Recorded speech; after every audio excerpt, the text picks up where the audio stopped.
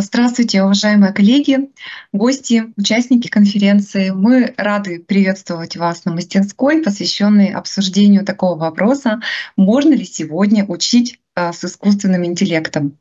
А, этот вопрос мы сегодня обсудим с нашими гостями, специалистами в области информатизации образования и с представителями ведущих организаций, связанных с разработкой технологий искусственного интеллекта и ее внедрением в области образования. Итак, сегодня с нами Андрей Петровский, кандидат а, физико-математических наук, а, исполнительный директор по исследованию данных в лаборатории по искусственному интеллекту Сбера, а, Владимир Иванович Абрамов, кандидат экономических наук, проректор по научной работе, руководитель Центра компетенций автономной некоммерческой организации высшего образования Университет мобильное электронное образование. Александр Вадимович Гриншкон, кандидат педагогических наук, доцент Департамента информатизации образования Института цифрового образования МГПУ, руководитель магистратуры «Виртуальная дополненная реальность в образовании». Антон Вячеславович Елисеев, ассистент Департамента информатизации образования МГПУ и аспирант МГПУ. Нелли Станиславовна Корнева, ассистент Департамента информатизации образования МГПУ. И модератором сегодняшней секции выступаю я, Суворова Татьяна Николаевна, доктор педагогических наук, а профессор Департамента информатизации образования ИЦО э, МГПУ. Уважаемые участники конференции, присоединившиеся к нашей секции в режиме онлайн, свои вопросы вы можете формулировать в чате канала YouTube и в чате в ВК. Вы можете также адресовать вопросы либо какому-то конкретно докладчику, либо формулировать их в общем. После завершения выступления гостей нашей секции у нас будет возможность ответить на поставленные вопросы. Итак, а, коллеги, а тема развития искусственного интеллекта, вы все это прекрасно видите, находится на самом пике популярности. Об этом свидетельствует, в частности, проведенная позавчера Михаилом Мишустиным стратегическая сессия, а, в ходе которой он выделил несколько очень важных позиций. Я процитирую. Михаила Мишустина. Продукты на основе искусственного интеллекта помогают повысить эффективность целых секторов экономики, вывести их на качественно новый уровень. Нам очень важно, чтобы они создавались у нас в России. Это необходимо для обеспечения независимости от иностранных поставщиков, укрепления безопасности нашей страны. И вот а, показатель внедрения искусственного интеллекта в отраслях экономики на сегодняшний день достигает 20%. Если мы рассматриваем лидеров, Здесь находится финансовый сектор, где такие технологии принимают, применяют уже до 95% предприятий. И вот одним а, из таких предприятий является Сбер, представитель которого Андрей Петровский находится сегодня у нас в гостях. Андрей, здравствуйте, представляю вам слово. Добрый вечер, добрый вечер, коллеги. Э, Почему очередь... мы вас не видим, Андрей, прошу прощения. А, а все Я... видно, все видно. Да, да, значит, у меня не... Извините, Вы пожалуйста, видно? у меня не отображается. Извините, Окей. спасибо. Так, коллеги, еще раз добрый вечер. Э, в первую очередь хочется э, поблагодарить организаторов за приглашение выступить. Э, большое спасибо. Давайте я поделюсь экраном.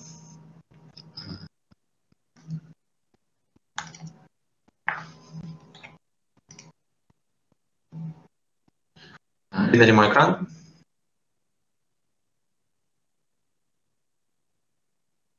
Видно все хорошо, Коллеги? спасибо. Да-да-да, все видно. Ага. Отлично. Эм, значит, э, я бы хотел сначала сделать некий дисклеймер, что я э, выступаю здесь больше как представитель сообщества по машинному обучению, э, не сообщества педагогического, поэтому прошу меня заранее извинить, может быть, за какие какие-то не совсем корректные местами формулировки. В своем докладе я сконцентрируюсь на практических а, кейсах, в которых я сам непосредственно принимал или принимаю участие. А, их будет два. Первый – это анализ дискурса учителя на уроке. И в основном мой доклад будет именно про, про этот проект. И второй – это проверирование учащихся. Здесь нам пока не удалось согласовать с отделом маркетинга, к сожалению, что можно рассказывать, что нельзя. Поэтому я буду достаточно абстрактен, но надеюсь, что тоже будет интересно и познавательно этот проект тоже. Начнем мы с анализа дискурса. Идея проекта основана на наблюдении, то, что зачастую преподаватели получают обратную связь э, достаточно в виде обратной связи достаточно субъективной, с одной стороны, с другой стороны, достаточно формальной э, манере э, в виде показательных уроков, э, которые зачастую отличаются довольно сильно от того, что в реальности происходит на уроках. Идея была э, дополнить существующую обратную связь э, за счет э, каких-то объективных данных, э, таких как, например, использование педагогических приемов, э, время говорения учителя и ученика, эмоции учителя во время э, урока, профессиональность лексики и так далее. И на основе вот этих объективных каких-то данных можно как-то формализовать обратную связь, которая будет, возможно, более как я уже сказал, объективно и может иметь какой-то дополнительный э, характер, э, дополнительный, дополнительную пользу э, относительно э, того, что обычно учителя, педагоги получают от завучей. Э, мы в своей работе, э, которую мы проделали с коллегами, концентрировались на э, обратной связи относительно использования педагогических приемов. Э, соответственно, что мы под этим имеем в виду? Под этим мы имеем в виду речевые, речевые различные приемы учителя, которые так или иначе помогают управлять тем, что происходит на уроке. Например, вот здесь представлены два примера приемов. Это обозначение символических границ урока, что Здесь имеется в виду э, разграничивание того, что является уроком и не уроком. Да? Например, вот фраза «Мы переключились на географию, Настя, теперь все вопросы, не касающиеся географии, только после урока». Это, очевидно, подходит э, под э, данный пример. А второй пример – постановка целей и задач. Здесь Э, еще более понятно, да, то есть это этап урока, на котором учитель э, или, может быть, ученики, может быть, совместно, они как-то формулируют цели и задачи на урок. Соответственно, вопрос, как мы можем предоставить э, обратную связь учителю о наличии, отсутствии такого рода педагогических приемов в его практике. Соответственно, мы предложили следующий подход – Э, в первую очередь производится запись, аудиозапись урока. Э, мы концентрируемся на аудиозаписи именно учителя, потому что э, технические средства для того, чтобы обеспечить полную запись того, что происходит на уроке, включая речь учеников, они достаточно дорогостоящие, это скорее следующий этап. Поэтому мы фокусируемся на речи учителя. Далее мы переводим полученную аудиозапись с помощью решений speech-to-text на основе машинного обучения в стенограмму. И далее используем вторую модель машинного обучения, э, так называемую NLP-модель, которая помогает э, сегментировать э, полученный текст, стенограмму, на соответствующие куски и сказать то, что вот здесь э, учитель использовал такой-то прием, здесь такой-то, всего он использовал столько-то приемов, таких-то столько-то, э, столько-то времени он, э, допустим, никаких приемов не использовал, которые, которые программа детектирует. Э, соответственно, на данный момент мы собрали 146 стенограмм реальных уроков. Нашими коллегами было предложено около двух десятков приемов. Э, но, естественно, то, что разные приемы, они встречаются в разной, с разной частотой э, в реальной практике, с одной стороны. С другой стороны, э, распознавание, сложность распознавания приемов, она тоже отличается. Поэтому сразу получить для всех приемов удовлетворительную точность не получилось, но, тем не менее, уже для шести приемов мы получаем хороший результат значение f1 от 0,7 до 0,9. Э, на всякий случай поясню, что f1 – это метрика, которая позволяет контролировать э, как ложно-положительные предсказания, так и ложно-отрицательные, и максимальное значение единиц. То есть, в принципе, значения по этим шести приемам, они, а, а, они действительно хорошие. Э, Более того, сейчас готовится релиз, уже на завтра он назначен от Сберобразования, бета-версии продукта. И если есть желание попробовать как-то работать, то можно получить доступ. Вот примерно так выглядит э, интерфейс. Здесь как раз представлены вот эти шесть приемов, которые мы сейчас хорошо распознаем. Можем посмотреть э, по таймлайну, где они происходили, где их использовал учитель. Также посмотреть, какие, собственно, предложения э, какие фразы им соответствовали.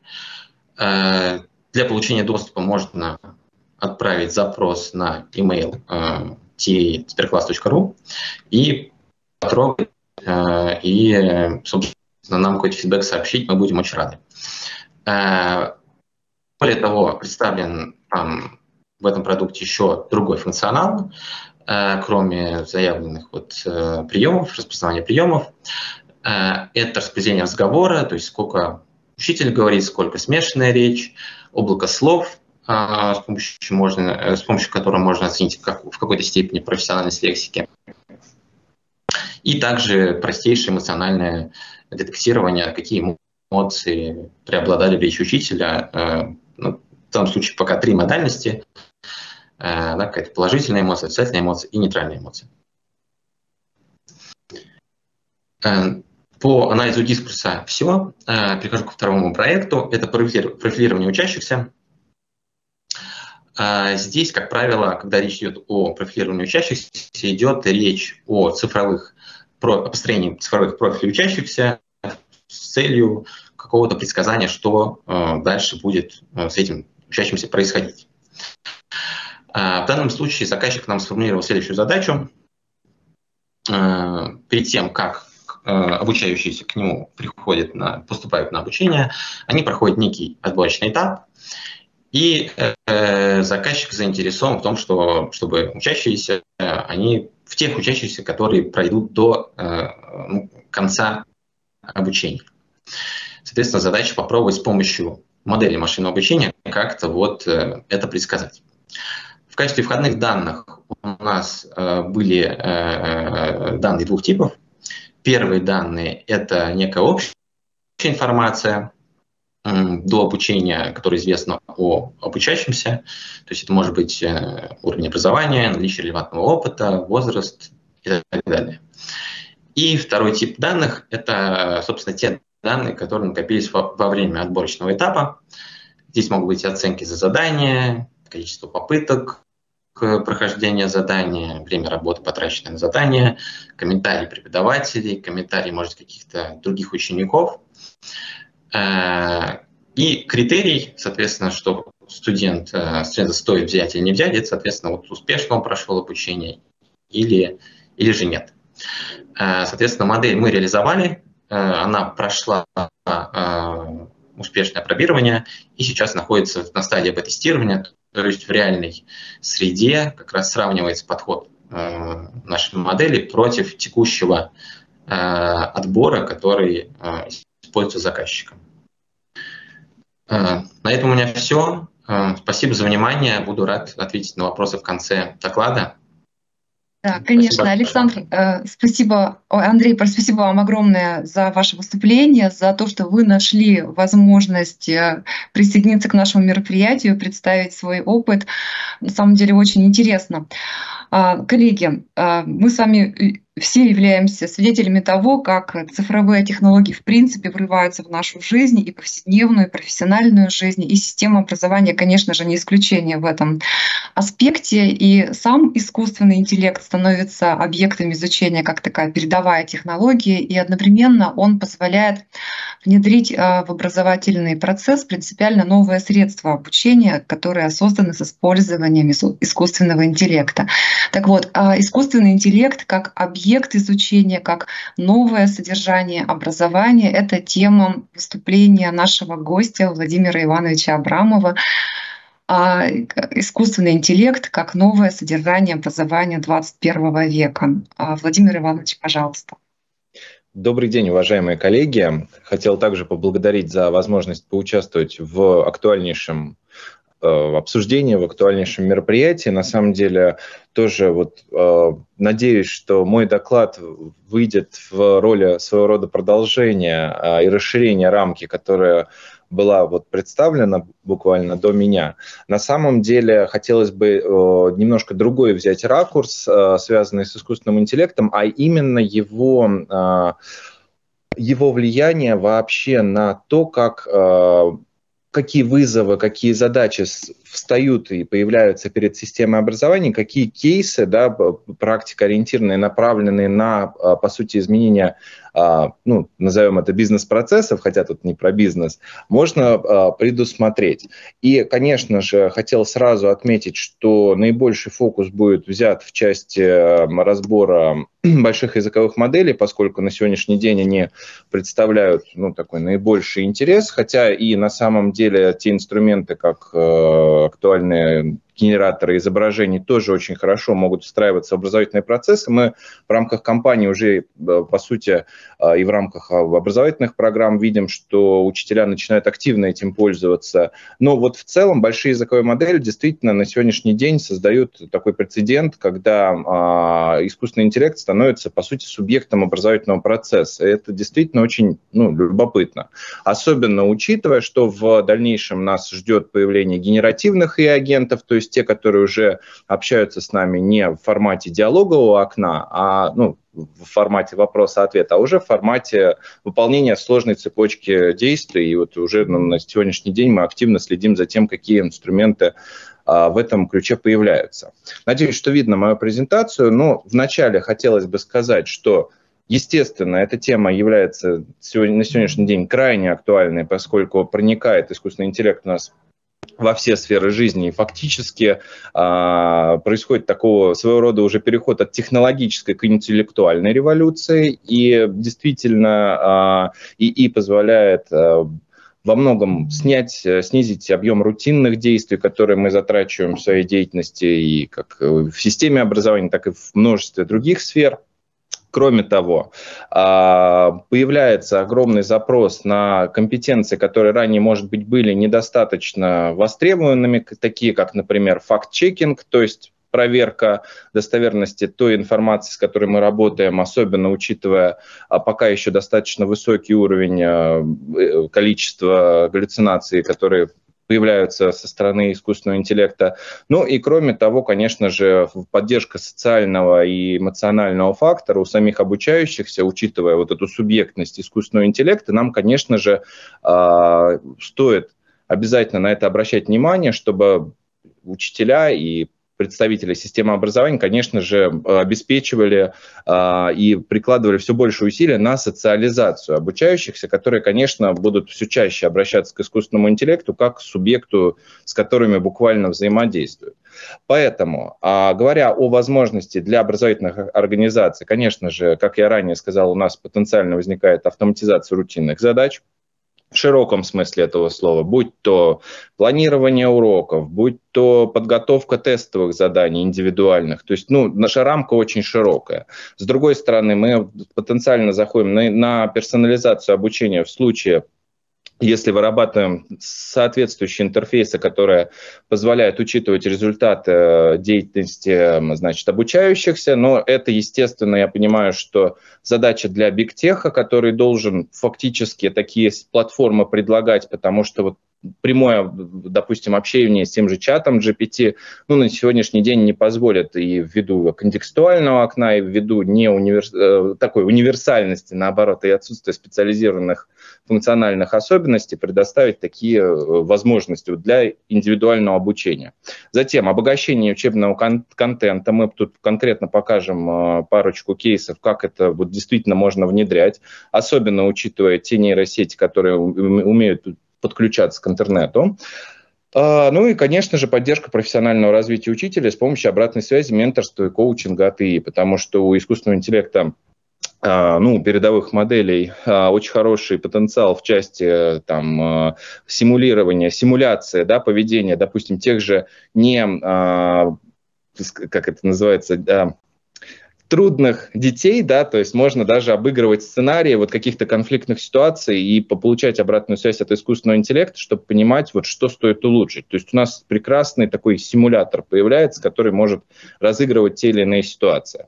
А, собственно, ну, что такое искусственный интеллект? Э, понимаю, что мы еще до конца об этом не договорились, но приводим такое достаточно устоявшееся определение, что э, это область, которая занимается созданием и разработкой систем, способных выполнять задачи, которые требуют интеллектуальных способностей. А, при этом а, в части новых задач, как я ранее уже говорил, у нас появляется непосредственно необходимость выработки научных подходов к тому, как мы корректируем содержание образования с точки зрения а, вообще позиционирования, в том числе искусственного интеллекта, то есть э, учитель, он становится арбитром между обучающимся и искусственным интеллектом, либо он должен именно сопровождать обучающихся, контролировать, как они с ним взаимодействуют. То, то есть тут еще такой научной э, заложенной базы, ну, толком и нет, она вот только формируется.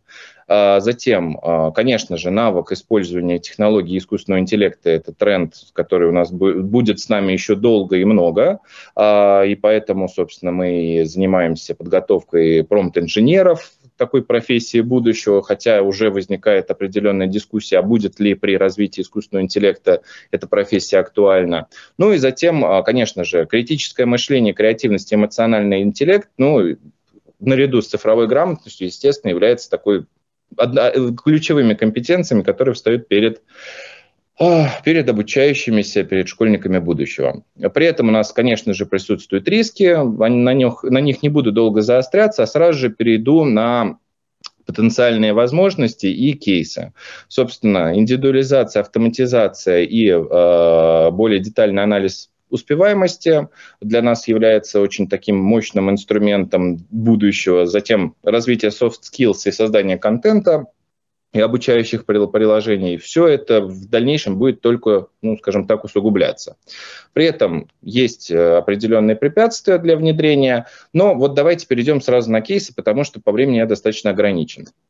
Вот пример. А, собственно, здесь мы э, говорим э, о таком, ну, отнеситесь, пожалуйста, к этому примеру с юмором, потому что понимаю, что в начальном классе, в начальных классах вряд ли будет кому-то объясняться, что такое квантовая запутанность, но э, пример приведен специально для того, чтобы показать, что э, большие языковые модели очень хорошо справляются с тем, чтобы какие-то сложные термины объяснять очень э, максимально просто, и она готова все снова и снова упрощать, да, понятно, что мы теряем информацию и качество ответа, но тем не менее мы можем э, фактически приходить к таким э, кейсам, да, которые, ну, может быть, и учителю будет трудно самому вот дойти до такого объяснения простого, который будет доступен для любого там школьника начального, начальных классов.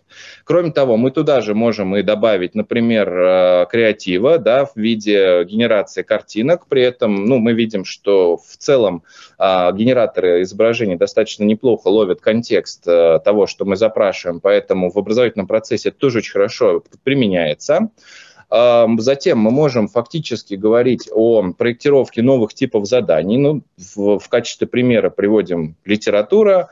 А, если раньше там, мы прочитали э, литературное произведение, его обсудили, то теперь мы можем еще добавить э, некую работу по, по тому, что нужно проанализировать вот на примере Раскольникова, как он вообще э, что, как, кого он из себя представляет, а уже поэтому сгенерировать картинку, ну, такой креативный момент, да, который может разбавлять э, достаточно традиционные классические уроки, э, тоже очень хорошее средство.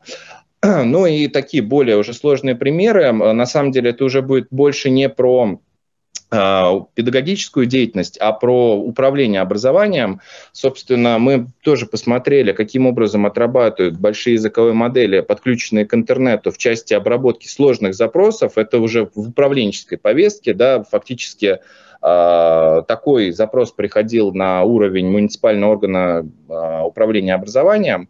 Э, вот учитывая, что региональный орган управления образованием не смог э, дать комментарии и ответить на поступивший запрос, мы можем констатировать, что искусственный интеллект уже на текущем уровне развития, правда, к сожалению, не российские технологии, уже способны очень качественно такие запросы обрабатывать. Обратите внимание, со ссылкой на законы остается проверить достоверность э, этих э, фактов, положений, и мы получаем практически автоматизацию обращений граждан.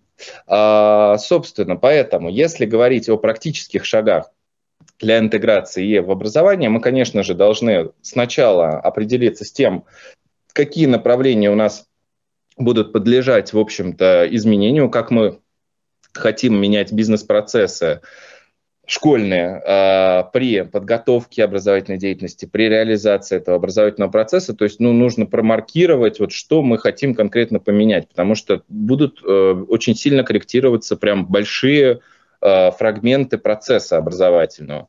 Затем, э, конечно же, важно учитывать возможности и ограничения различных технологий искусственного интеллекта, потому что ну, буквально сейчас мы анализируем, вот берем в линейку а, Microsoft Bing, а, Anthropic Cloud 2, чат GPT, GigaChat, Яндекс GPT. Вот прогоняя буквально через линейку те кейсы, которые у нас появляются в системе образования, конечно же, понимаем, что кто-то отрабатывает в текущий момент лучше, кто-то хуже, поэтому это всегда нужно тоже учитывать.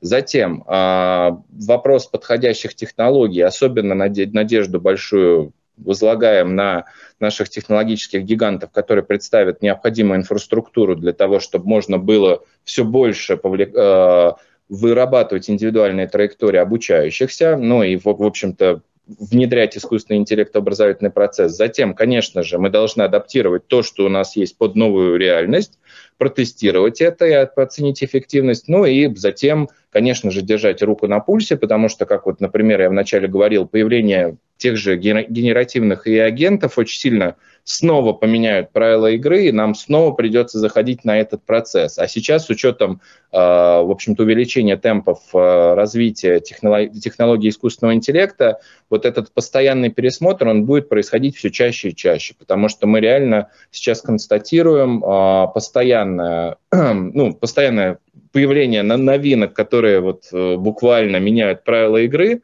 и вот конечно, в качестве такого заключения хотелось сказать, что Тут будет очень важно, а, чтобы система образования была всегда в курсе того, что происходит, а, в курсе самых а, актуальных наработок, потому что дети, школьники, они, конечно же, очень погружены в цифровую эпоху, в цифровые технологии, и ну, совершенно будет недопустимо, чтобы представители системы образования знали меньше, чем обучающиеся. Э, к сожалению, мы это сейчас зачастую видим, и поэтому и перед бизнесом, и перед наукой, и перед образованием стоит грандиозная задача по тому, как искусственный интеллект должен а, создать вот эту конвергентную среду. На этом свой доклад и закончил. Спасибо большое. А, Владимир Иванович, спасибо огромное вам за то, что согласились принять участие в нашей секции, за то, что э, выступили с таким очень интересным докладом, показали несколько очень таких разноплановых с точки зрения сферы применения в образовании э, кейсов. Спасибо огромное. У нас как-то так выступления все очень логично одно из другого вытекают. Э, сейчас обратила на это внимание. Вы, Владимир Иванович, заявили о рисках который, которыми сопровождается внедрение искусственного интеллекта в сфере образования.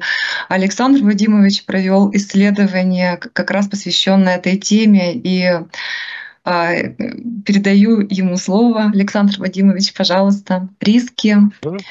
Спасибо большое. Здравствуйте. Да, спасибо большое. А риски применения нейронных сетей в образовании, да, а, тема прям практически полное продолжение а, то, чего вы затронули. Разберем несколько примеров и посмотрим, с какими проблемами могут сейчас столкнуться учителя, учащиеся да, при, использовании данных нейронных э, сетей, генеративных и не только, а, в образовательном процессе.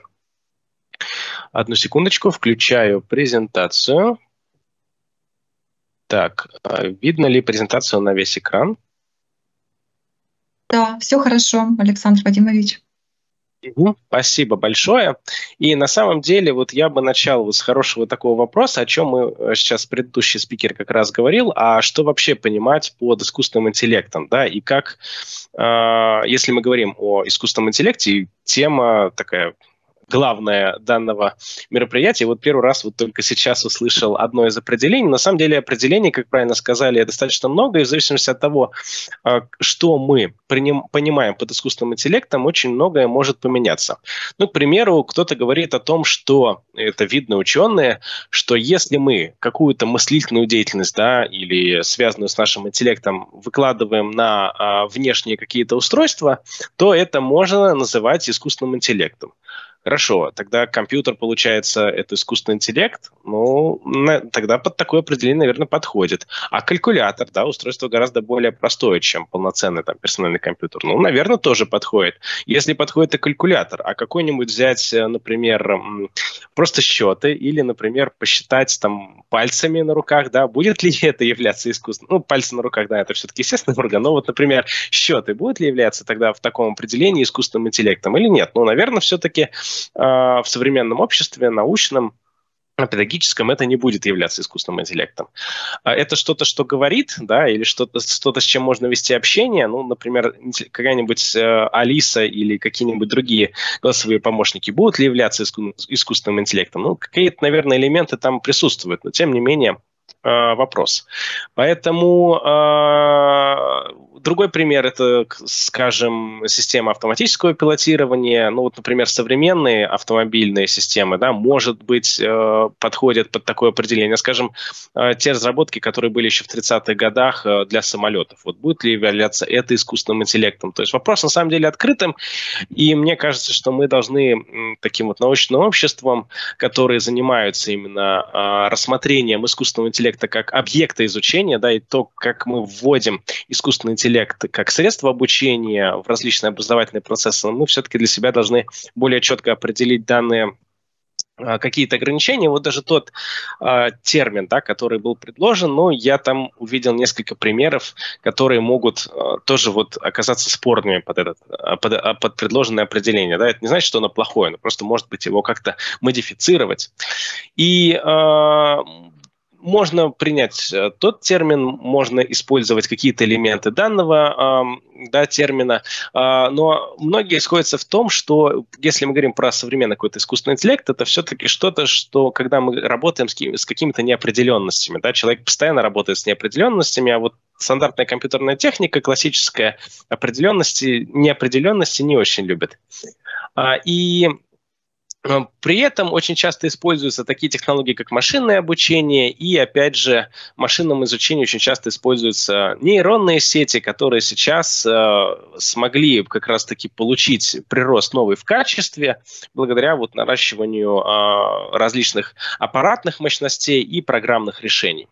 И одним из сейчас трендов, безусловно, является это генеративный искусственный интеллект, то есть когда мы с помощью искусственного интеллекта генерируем какой-то новый контент. Это может быть тексты, картинки, видеоролики, теперь уже даже звуковое какое-то сопровождение, а, код, э, решение каких-то задач и так далее. Ну, я думаю, что вот эта вот иллюстрация, кто вот хоть раз пробовал там заниматься искусственной там, генерацией, например, картинок или знаком, видит сразу какие-то определенные а, черты у данных изображений, которые говорят о том, что, наверное, здесь замешан как раз-таки генеративный искусственный интеллект. И э, давайте поговорим о тех рисках, которые мог, смогут столкнуться преподаватели и учащиеся при использовании таких систем. Но в первую очередь, о чем чаще всего говорят, это нарушение авторского права. Да? Вот то, что сделано а, нейронными сетями, да, вот с помощью генеративных нейронных сетей, э, кто автор данных элементов? Тот, кто э, задал запрос, а тот, кто запрограммировал данную сеть, да, а вообще-то там эта сеть, она училась на работах других людей, да, там, художников, писателей и так далее, и может повторять достаточно точно их стили. А, хорошо, а тогда как поступать вот с теми авторами, которые, например, еще живы, и их авторское право сохраняется, ну, либо в других похожих ситуациях? А, кто тогда автор, да? Можно ли тогда говорить о нарушении авторского права, если нейронная сеть учится на каких-то материалах? А что говорить, если мы возьмем, например, человека? Да? Человек тоже, скажем, когда он учится, он изучает чужие работы, чужие разработки. Вот будет нарушением авторского права, если человек научился на какой-то стилистике и потом ее повторяет. Э, во многом же схож процесс обучения нейросетей а, с а, обучением человека. Принцип похож. И на самом деле сейчас огромное количество проблем из-за этого. Вот, возможно, кто-то слышал, это гильдия сценаристов вот в Голливуде сейчас э, протестовала как раз-таки в том числе и из-за появления нейросетей, и из-за этого они лишаются работы, да. А, многие художники начинают протестовать, потому что и конкурсы выигрывают не, э, результаты нейросетей, да, и э, определенные базы данных картинок, где можно было бы продавать свои труды, тоже заполонил вот такой вот генеративный контент, и из-за этого люди не могут продавать свое творчество, сделанное там ручным трудом. И многие средства, ну, например, тот же Steam, да, магазин приложений игр, он тоже сейчас э, вы, выпустил такое определенное правило, которое запрещает э, активно применять вот эти вот, продавать э, контент, который был сделан с активным привлечением нейросетей. И тогда появляется еще один вопрос. А хорошо, если мы говорим о том, что нейросети использовать, например, нельзя или их ограничить, а как защититься от этого? А, как сказать о том, что вот, э, вот этот контент сделан с помощью нейросетей, а вот этот вот без нейросетей. Ну, если говорить про картинки, то с картинками все более-менее понятно. Если мы договоримся с создателями нейросетей, то нейросети будут зашивать туда водяные знаки, которые человек не увидит, но потом которые легко, в принципе, опознать. А что делать с текстом? Вот, например, э, знаменитая система антиплагиат, да, она сейчас может определять, э, является ли это с определенной вероятностью текст на написанный э, роботом или нет, да? Но, во-первых, даже с, если правильно составить промпт, то современные системы вполне себе обходят систему антиплагиата. Кроме того, у нас уже в практике есть обратная ситуация, когда человек, для которого русский язык не является родным, да, написал полностью сам свою работу, но антиплагиат ругается, что, скорее всего, эта э, система была сгенерирована нейросетью из-за того, что немного неестественный язык. И даже вот OpenAI, да, которая разработала ChatGPT, она сейчас закрыла продукт по определению принадлежности к нейросети, потому что он не показывал высокую эффективность. А следующая проблема – это так называемые галлюцинации, то есть когда нейросеть выдумывает какие-то факты. И вот был пример как раз с юридическим документом, да, и с юридическим запросом. Мы тоже похожий пример делали, только без юридической подоплеки, но с просьбой указать источники и определенную информацию. И нам в одном запросе, да, когда была основана Российская Академия Образования, во-первых, а, были указаны совсем верные данные, а во-вторых, а, источники – это было Российское авторское общество, ну, тоже сокращается РАО, да, но она не поняла эта система. А во-вторых, на закон, который она ссылалась, это Государственный таможенный комитет Российской Федерации, да, то есть совсем с образованием не связанный материал. И это достаточно большая проблема. А, многие исследования показывают, что сейчас генеративные нейронные сети, они ухудшают качество такой выдачи информации, в том числе потому, что они берут вот эти вот галлюцинации для переобучения и считают это истиной. И тогда мы э, еще подходим к следующему очень важному, важной проблеме, это потенциально вредоносный инструментарий из вот таких вот нейросетей. Уже сейчас с помощью нейросетей могут обманывать, да, генерировать спам-письма, э, какие-то вредоносные сообщения, которые лучше будут подходить под конкретного человека, э, дипфейки, э, эмуляция голоса и так далее. Э, такие системы могут помочь изготовить какие-то взрывоопасные или ядовитые вещества, и также очень большая проблемой является это э, действие пропаганды, да, то есть не всегда позитивный. То есть, например, система правильно заточенная может, во-первых, писать какие-нибудь посты и правильно выделять людей в правильные группки и влиять на их э, мнение, да. И второе, это э, нейросеть может однобоко рассказывать о какой-то ситуации, тоже сыграв очень такую коварную шутку с пользователем. Как, например, сейчас был скандал, э, проводили исследования с отечественными нейросетями, да, российскими, спрашивали, а что такое СССР? И нейросети говорили, ой, это такой опасный вопрос, я не хочу об этом говорить. Спрашиваешь нейросеть о том, а что такое США, и она вполне себе отвечала. Хотя, ну, как это такое, да, может быть, просто дело вот в настройке. И, кроме того, существует огромная проблема черного ящика, то есть нейросети, конечно, работают, но не совсем понятно, как это происходит, и даже разработчики не понимают, почему из таких-то входных данных получается такой-то результат. И в каких-то а, вещах это не так опасно, да, а в каких-то это может сказаться очень серьезно. Например, там, где нужны четкие алгоритмы а, и так далее. И а, своего рода, если мы говорим про решение каких-то задач с помощью чат GPT, то это сродни, наверное, интуиции, а не четкому алгоритмическому решению. А, и, э, кроме того, еще у нейросети нет целостной картины реального мира. Да? Она не понимает, где что находится, какие существуют отношения, если они не описаны текстом, были в какой-то книжке. Да? И а, поэтому можем сталкиваться с тем, что не всегда, например, а, работает логика, либо опора на реальное окружение. А таким образом, следующая проблема, которая очень часто возникает, это универсальные решебники и шпаргалки. Работать они будут не всегда, о чем будут э, сообщения последующих э, наших спикеров, но тем не менее это сейчас тоже выходит на новый уровень. С этим что-то э, надо делать, да, как-то по-другому теперь оценивать и проверять работу учащихся. И э, хотелось бы прийти к выводу, что в текущий момент времени, вот если взять какие-то готовые общие нейронные сети, то они не готовы к использованию в образовательном процессе, и нам нужно, во-первых, придумывать, как обучать этому э, детей, да, как это использовать, и плюс создавать, безусловно, то, о чем было сказано предыдущим спикером, создавать специализированные нейронные сети, которые были бы во многом лишены от выше представленных э, недостатков. А спасибо большое за внимание, да, я передаю слово следующему спикеру. Александр Вадимович, спасибо большое вам за ваше выступление, за ваши исследования. Действительно, а, внедрение вообще любой новой технологии, помимо положительного эффекта, чаще всего несет с собой какие-то риски, какие-то ограничения.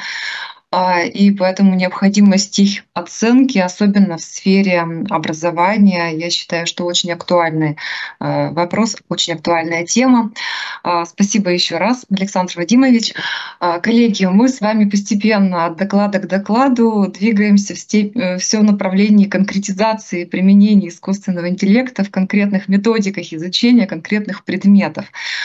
Следующий докладчик у нас Антон Вячеславович Елисеев. А, представит нам а, исследование о применении нейронных сетей при проектировании и проведении уроков информатики в основной школе. Антон Вячеславович, пожалуйста. Да, добрый день, спасибо большое за э, предоставленное слово. Значит, действительно, сегодня э, покажем, так сказать, э, уже применение нейронной сети при конкретном условиях. И вот как э, это выглядит при проектировании, проведении уроков информатики в основной школе. В настоящее а, время Сейчас, секунду. Да. В настоящее а, время да, применение нейронных сетей имеет все больше, мы уже видим, значение. И а, использование в школе, именно школьным педагогам, а, может значительно а, помочь, да, сократить какое-то время, например, при проверке заданий или а, помочь подготовиться к самым занятиям. И вот ну, применение нейронных сетей, да, собственно, здесь э, представлено как компьютерное зрение, медицина, образование, все, э, все больше и больше да, э, направлений поглощает эта технология. И вот как раз образование тоже не осталось в стороне. И дошло до того, что можно а, попытаться а, произвести проектирование и проведение, ну, да, спроектировать и провести школьные а, уроки конкретно вот информатики. Значит, а, примеры нейронных сетей, которые а, хотелось бы сегодня вот продемонстрировать, это вот составление технологической карты, проведение, а, проверка вообще заданий а, и подготовка с а, урока. Значит, технологическая карта, именно составление технологической карты урока, то есть когда учитель планирует а, свою деятельность, указывая там, а, собственно, дидактическую цель, а, задачи, да, задачи обучения, развития и так далее. Поэтому а, был при, а, применен такой вот э, запрос конкретный, да, а сейчас он выглядит более подробно, а, то есть э, создать технологическую карту урока, направленную на освоение знаний и умений по теме. Ну, выбрали тему просто алгоритмизация программирования, программирование на языке программирования C++. То есть это вот э, школьная тема, и э, уточнив запрос следующим образом, то есть рассчитан именно на 40 минут, это стандартный да, школьный урок для 10 класса, и э, чтобы технологическая карта все-таки была похожа, так сказать, на э, эту карту, да, и были отражены все элементы, которые требуются, ну, вот как мне, да, педагогу, это дидактическую цель указать, это обучение и так далее. Соответственно, что получаем на выходе?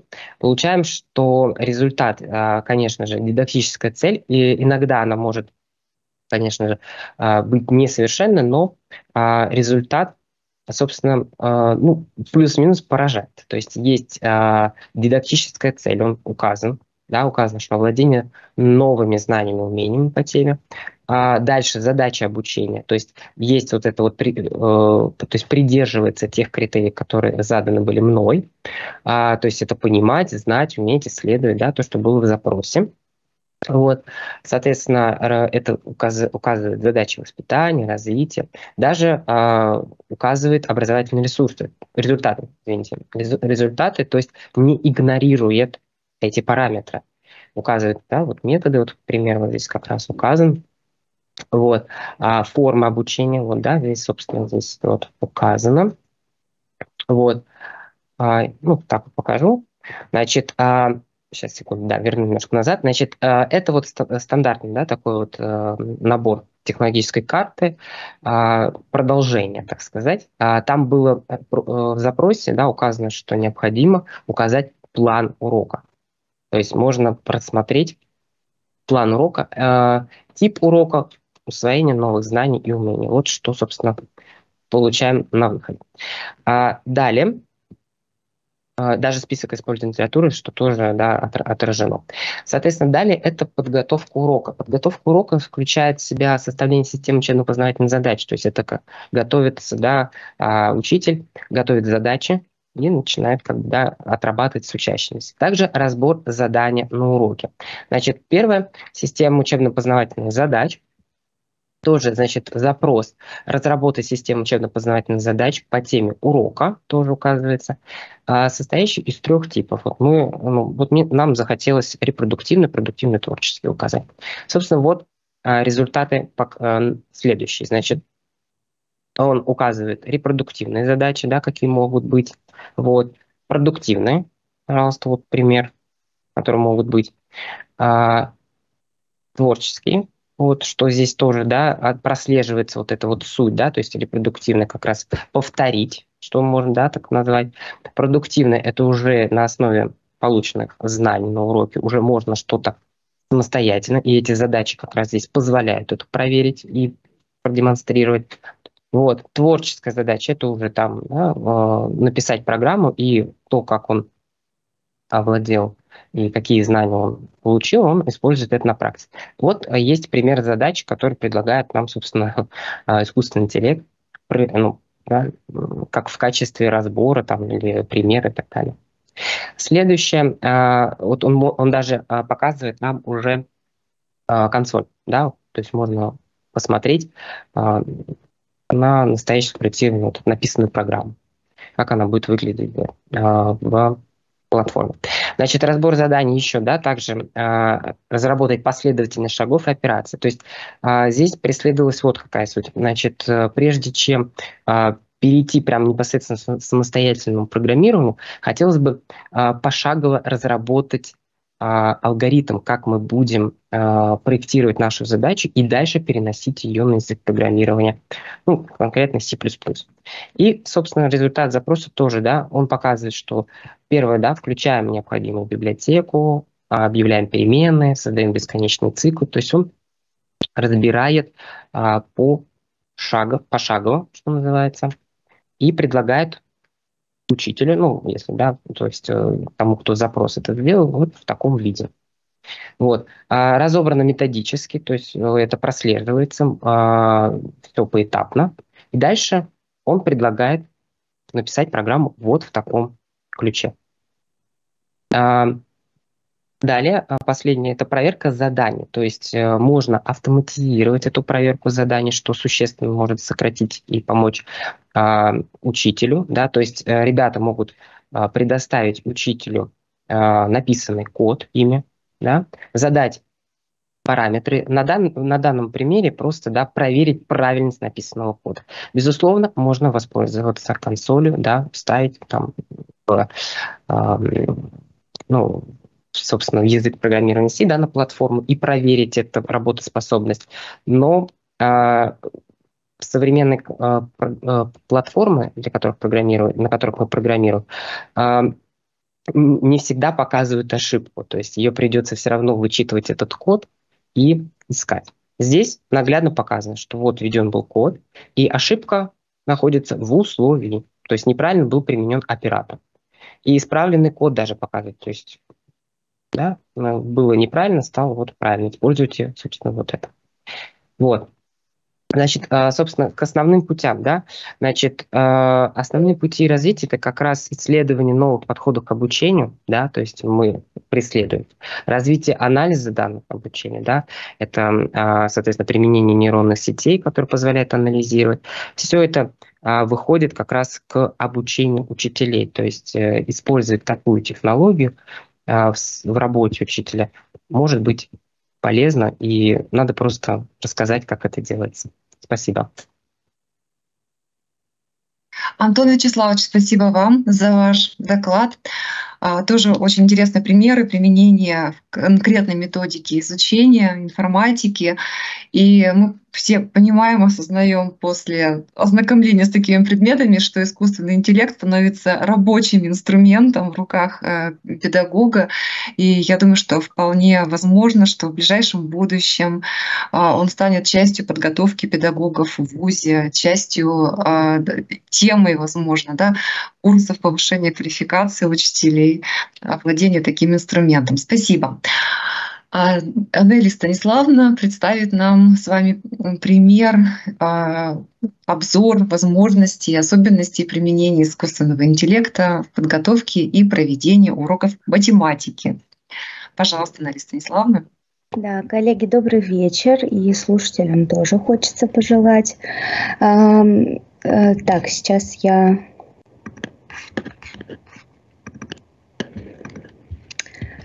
Видно? Да, все хорошо. Да, хорошо. Значит, э, ну что, теперь у нас с вами обсуждение будет э, направлено да, на применение искусственного интеллекта к урокам математики. И, ну, хотелось бы, соответственно, начать. Так, сейчас. Э, данный слайд мы уже увидели. Александр э, да, обозначил, что Александр Вадимович, что Э, есть некоторые риски при использовании искусственного интеллекта в, таких, в такой области, как математика. И связано это с тем, что то есть непонятно, как да, справляется искусственный интеллект или нейросети с задачами, поставленными из вот таких точных наук.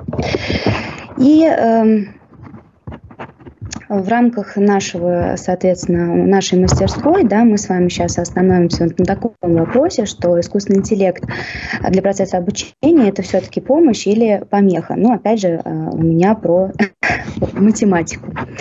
И э, сейчас рассмотрим э, несколько кейсов, которые получилось да, реализовать в запросах э, с чатом GPT 3.5 и э, как они реализованы, какие возможности, да, как, как можно формулировать вопрос и запрос, соответственно, к чату, и что, соответственно, из этого получилось. Эм, так, здесь на слайдах э, некоторые такие запросы, соответственно, с их ответами. Я немного быстренько так вам э, да, расскажу. Значит, здесь э, запрос к искусственному интеллекту как к решебнику, да, это, ну, кто может запрашивать, мы понимаем, и учитель, и ученик, да, чтобы как-то себя проверить, потренировать и так далее. Ну, различные у всех цели, но как-то происходит. В общем, был такой запрос задачи, да, помочь решить решить задачу шестого класса по математике, тема проценты. Ответ получен достаточно подробно, пошагово, и а, верные ответы, сами вычисления, действия и даже комментарии. Здесь успешно реализован да, запрос, э, соответственно, На этом э, да, этапе э, запрос тоже с решением, э, с просьбой решить задачу, но задача уже выбрана из профильного уровня ЕГЭ по математике, то есть да, то, к чему наши выпускники 11 классов готовятся. Здесь финансовая задача на вклады. И, ну, так, если пробежаться глазками, а, значит, эм, ответ получен от э, искусственного интеллекта, даже такой развернутый, подробный, с комментариями, но а, сама математическая модель, которая составлена в качестве уравнения, да, она неверна. Ну и, соответственно, решение и ответ получены неверно в этом, в этом случае. То есть тут как решебник э, чат GPT да, не помог. Далее переходим на разные да, э, вариации, еще что можно ну, как, реализовать, попробовать, возможности посмотреть. А, значит, здесь как э, запрос от ученика, если, ну или от тех, кто интересуется математикой, это задачка на смекалку из базового уровня ЕГЭ по математике. Ну, сейчас так просто ориентироваться, кто знает, кто не знает, тоже посмотрите. А, в принципе, здесь а, задача достаточно интересная на, на эрудицию.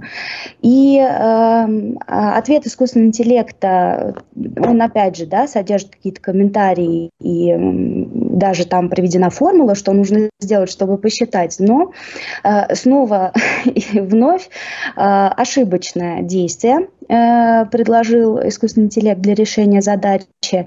То есть э, здесь на самом деле единичку прибавлять нужно было да, не ко, ко всем исходным данным, а только лишь к одному. То есть опять же, как мы говорим, вот у него нет полной картины, потому что если мы поймем модель э, глобуса и как располагаются параллели и э, меридианы, то ну, достаточно этого будет понять, изобразить э, с меньшим количеством параллелей и меридиан, понять закономерность, и задача будет решаема. В общем, здесь, опять же, не получилось, да, получи, ну, не получилось достоверно э, получить решение вот этого запроса. А, далее, как э, искусственный интеллект как помощник для учителя, то есть, ну, что еще учитель может там попробовать реализовать и как это вообще. А, такой вопрос, запрос сформулировали. А, задача была ну, специально написана с ошибкой да, во втором действии, вот здесь. И, соответственно, запрос был на то, чтобы искусственный интеллект проверил решение данной задачи. И в ответе ну, он так и начинает с того, что решение э, вер, верное да, у указанного там ученика или просто что мы ему придумали дали. Вот. Но тем не менее, соответственно, э, дальше, когда прописывает э, сам решение к этой задаче, вы можете посмотреть, вот второе действие, которое у него записано, оно э, нач... ну, то есть запись самого действия это верно сформулировано, но ответ получен неправильно, то есть там в самом решении вычислительная ошибка. Вот, двигаемся дальше. Значит, э, еще один из запросов, да, как в качестве вдохновителя такого обратиться туда к искусственному интеллекту, чтобы, соответственно, какие-то новые задачи придумать, а не те, которые все могут найти, э, если воспользоваться поисковиками, решебниками какими-то, да, печатно, может, в виде уже для оцифрованные и так далее. Вот, э, здесь достаточно успешно реализовано придумать, да, задачи трех разных уровней сложности. И э, ну, в целом для десятиклассника очень даже э, приятный как бы, набор заданий от легкого действительно там до, соответственно, среднего и до, до высокого. Здесь, то есть прям мне понравилось, тоже можно, можно применять и брать, и как бы когда уже не хватает каких-то э, да, э, своих опыта своего, и можно, в принципе, обращаться, чтобы как-то это было более красочно или более разнообразно. Ну и э, такой еще момент, что иногда нас наши обучающиеся и, э, да, ставят нам какие-то вопросы, на которые э, кто-то с легкостью отвечает, кто-то там Э, с вдохновением, ну и, соответственно, тоже как бы посмотреть, да, э, с такого э, ключа, то есть как можно задать вопрос, вот, что представить себя нейросети, как что она ассистент учителя математики, и как бы дала ответ на такой вопрос, зачем в школе изучать квадратные уравнения. Я тут немножечко, конечно, подрезала ответ, у искусственного интеллекта был чуть побольше, но основную мысль можно проследить, да, то есть как бы э, хорошо э, э, переходящий текст, то есть в принципе лаконично все составлено, ну и можно тоже делиться с этим с обучающимися. Здесь на кейсах мы останавливаемся и, соответственно, подводя такую черту и итоги, да, об особенностях в итоге, что из того, что получилось реализовать, можно выделить таким как итогом. А, можно ли использовать да, и учить сегодня детей математике с помощью искусственного интеллекта? Ну, можно, да, в качестве, то есть э, искусственный интеллект как решебник, помощник, генератор задач, ассистент учителя, можно попробовать, но осторожно с какими-то, конечно, а, комментариями, да, звездочками и так далее. Причины вот тоже, да, мы уже проговорили, и они указаны тоже на слайде. Ну и хотелось бы сказать, что э, решение как бы, задач э, искусственного интеллекта из области математики на сегодня это такая история, которая требует усовершенствования, и а, люди занимаются, разработчики есть, в нашем университете тоже есть команда, да, которая а, разрабатывает новую версию чата GPT, которая будет уже непосредственно для образования и ну, направлен. И, соответственно, если мы говорим про такую науку, как математика, здесь вот из таких моментов, что да, все-таки нужна необходимость есть, чтобы э, такой был помощник для, наверное, для нейронной сети, э, какой-то дополнительный модуль, и вот как, например, э, это был бы Вольфрам Альфа. Вот такие возможности и особенности искусственного интеллекта в подготовке уроков математики у нас на сегодня получились. Спасибо большое за внимание. Нелли Станиславовна, спасибо огромное вам за это выступление. Нелли Станиславовна у нас еще начинающий исследователь. Это одно из ее первых выступлений очень волнительных для нее. Вы сделали замечательный вывод в конце да, о том, что нам при использовании средств искусственного интеллекта, так же как и других электронных образовательных ресурсов, цифровых технологий в образовании, необходимо следовать принципу необходимой целесообразности. Да, то есть если это необходимо, если это востребовано, если это повысит качество образования, используем. Но это не должно становиться ни в коем случае сам, самоцелью. А, спасибо огромное, коллеги. Во время трансляции нашей секции в чаты поступил ряд вопросов. Постараемся в оставшееся совсем небольшое время ответить на них. Итак, первый вопрос из нашего чата а, от наших слушателей. А, ожидалось резкое повышение качества образования в связи с его информатизацией. Как вы считаете, сделаем ли мы скачок благодаря развитию искусственного интеллекта и нейросетей? Коллеги, кто может прокомментировать, пожалуйста? Ну, если позволите, а, да, наверное, начну, потому что уверен, что каждый из коллег э, скажет свою позицию тоже. А, на мой взгляд, на самом деле вот говорить о а, однозначном повышении, о скачке будет не совсем корректно. А, на самом деле, на мой взгляд, в совершенно другую плоскость переходит вообще задача образования. Да? То есть если раньше мы нуждались в постоянном, ну, скажем так, постоянной прокачке обучающихся по части вот этих hard skills, как сейчас принято говорить, вот такой доступ к искусственному интеллекту, который во многом упрощает, э, снижает вот эти рутинные операции, э, немножечко корректирует задачи перед э, уже будущим работником. То есть ему нужно в голове уметь очень хорошо э, формулировать образ результата, да, что он хочет получить на выходе. Это, ну, можно сказать, как раз-таки вот, э, наверное, и является базисом вот этой промпт-инженерии, которая сейчас у нас возникает. Это как бы с одной стороны. А, есть и другая сторона, она будет такая более дискуссионная касательно вообще того, к чему мы двигаемся. Фактически мы подходим к появлению так называемого общего искусственного интеллекта или сильного, а, который в свою очередь предполагает а, то, что он, такой искусственный интеллект будет обладать э, способностями ну, среднестатистического человека, ни в чем не уступая.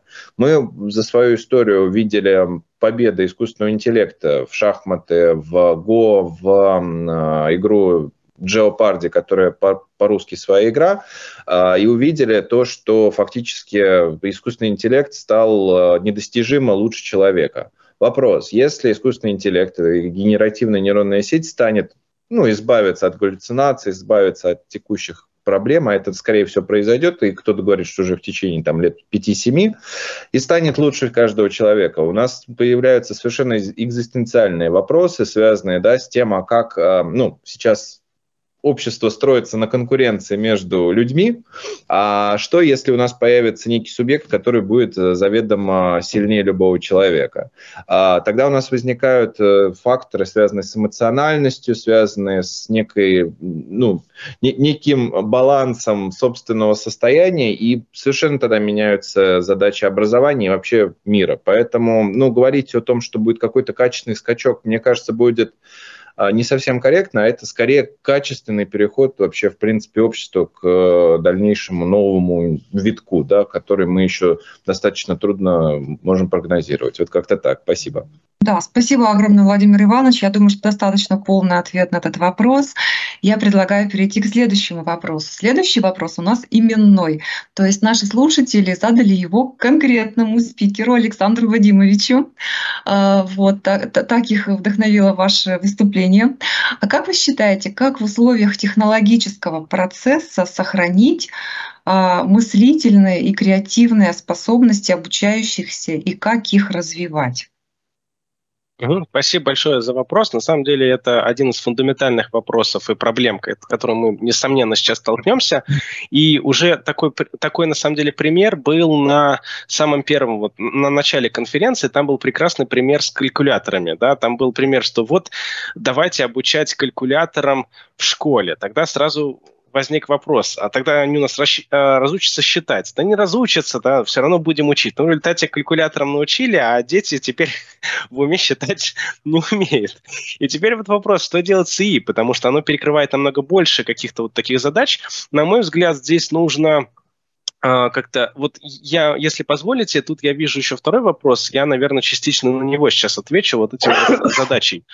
А, я хотел сказать то, что на самом деле вот появление такого искусственного интеллекта, оно вызовет во многом пересмотр подходов к обучению и, главное, проверки работ э, студенческих, школьных и так далее. Возможно, вы слышали, да, как раз тоже это вначале было, о том, что в нашем ВУЗе разрешили использовать э, генеративные нейронные сети при написании в том числе и дипломных работ.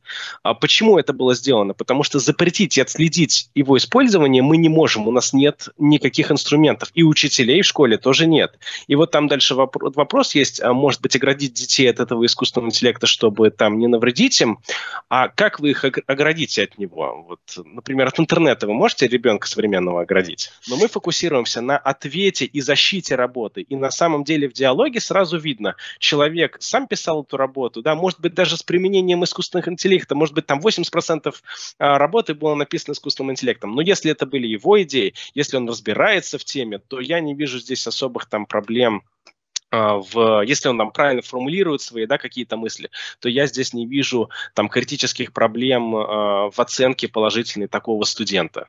Поэтому, опять же, это очень сложная сложный вопрос, которым нам придется все его решать, и, безусловно, придется как-то очень серьезно менять а, подход к обучению, возможно, даже содержание. Спасибо. Спасибо, Александр Вадимович. Сразу на два вопроса ответили. А, следующий вопрос у нас тоже именной. А, обращен к Нелли Станиславовне. Подскажите, пожалуйста, какой именно чат, на какой платформе вы использовали для анализа его работоспособности на примере построения решения математических задач? Мгм. А, чат а, GPT 3.5. Я говорила, да, может быть, там прослушали. Ну, в общем, это был вот он, и общение было выстроено с ним. Вот на все запросы, которые, да, показал в презентации, были там реализованы.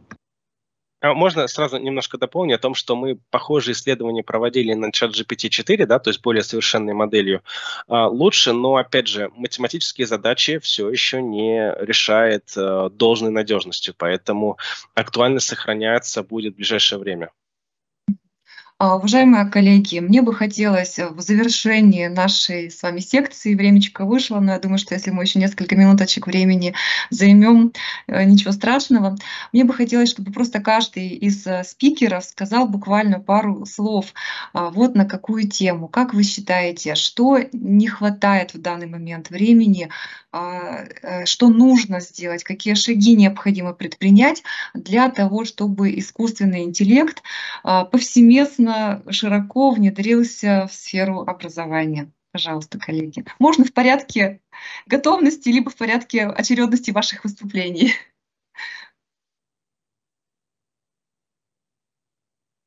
Ну, пожалуйста, кто, кто готов прокомментировать? Какие шаги нам необходимо предпринять да, для того, чтобы да. все у нас заработало. Да, можно Пожалуйста. тогда, может быть, я тогда начну. А, Хорошо. Я думаю, что а, здесь в первую очередь нужно а, провести какое-то определенное исследование и постараться выделить фундаментальные принципы работы с большинством нейросетей, да, то, что будет оставаться во многом, возможно, неизменным с приходом новых каких-то технологий, новых версий, там, ChatGPT 5, 6, еще там какие-нибудь, да, выделить вот эти вот вещи и стараться обучать наших школьников, студентов и педагогов в работе а, по вот этим правилам, чтобы они могли эффективно, безопасно работать с этими а, сетями в будущем, а не просто голословно их запрещать, потому что это абсолютно бесполезно и, на мой взгляд, даже во многом вредное будет действие. Спасибо. Спасибо. Если... Александр Вадимович? Давайте, давайте Давайте я продолжу. Э, мне, честно кажется, что в любом случае это произойдет. Э, то есть это не способ, это не про, вопрос не, не про как, потому что со временем рано или поздно это будет использоваться. Вопрос, во что это превратится, да, то есть как это повлияет на наше общество. Э, здесь частично проблемы многие затрагивались уже, да.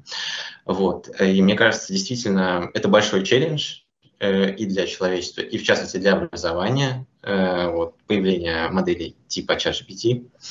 Вот, поэтому в первую очередь, наверное, надо думать, как вот сделать так, чтобы это было на пользу э, человеку, чтобы вот эта новая технологическая новая революция, чтобы человек сумел ее правильно как-то обуздать. Да? Для этого, конечно, важно знать, на что эти технологии способны. Да? То есть должно быть образование Э, наш, э, среди людей, да, какая-то вот э, вульгаризация, может быть, знаний довольно сложных, э, чтобы люди знали, на что технологии способны. Э, и, конечно, цель полагания должна быть правильная, человекоцентричная. И, и, уверен, что человечество, в общем, э, я надеюсь, что справится, в общем, с достоинством выйдет из этого испытания. Спасибо, Андрей. Владимир Иванович.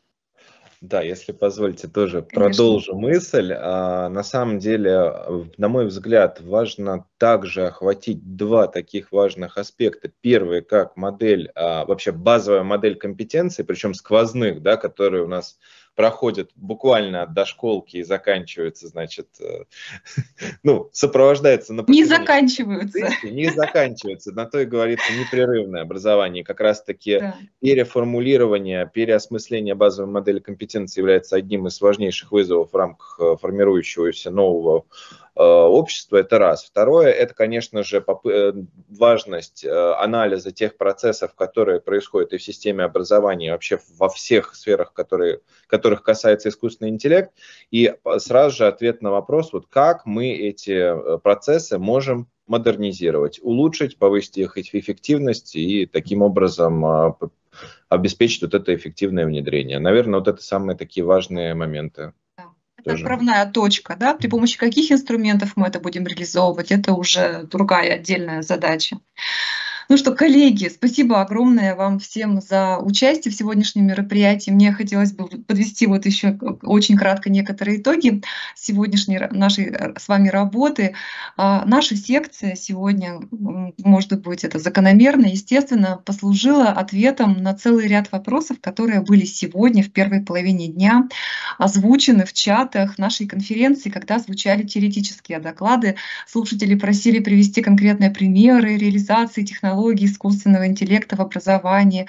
И вот мы с вами как раз в рамках этой секции такие примеры а, привели, причем в самых разных областях образования от э, управления до конкретных методик, а, изучения конкретных предметов, конкретных дисциплин. Ну и во-вторых, мне бы, конечно, хотелось поблагодарить всех участников нашей секции, спикеров за то, что нашли время в своем плотном графике, за то, что нашли возможность э, выступить, э, представить свой опыт, результаты своих э, исследований и всех наших зрителей, всех наших участников конференции, подключившихся к нам онлайн.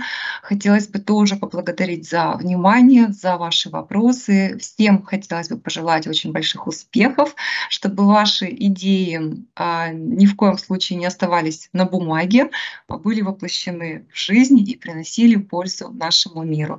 Спасибо огромное. Всего доброго. До свидания.